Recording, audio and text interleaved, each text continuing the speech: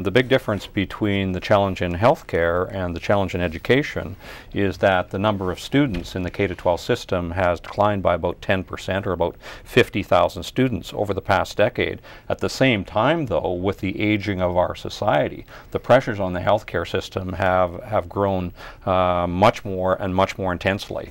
So it's not as if there's a whole bunch of room there we can say, well, maybe we can grab some of the $17 billion uh, devoted to health and moving it to education, you simply couldn't do that. The pressures are going to be enormous over the next decade in that area.